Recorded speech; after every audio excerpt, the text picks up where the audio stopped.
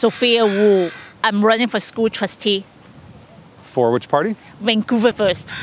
Um, I'm running for re-election because it's very important to have an opposition voice at the school board. It's important that both sides of views have different viewpoints, especially on controversial issues.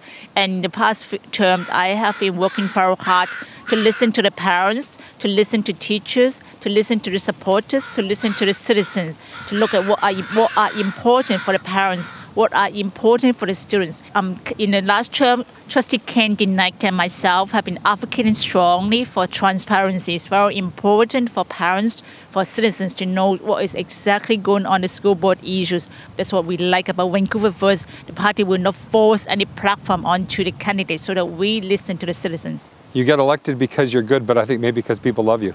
Yeah, I hope so. Thank you.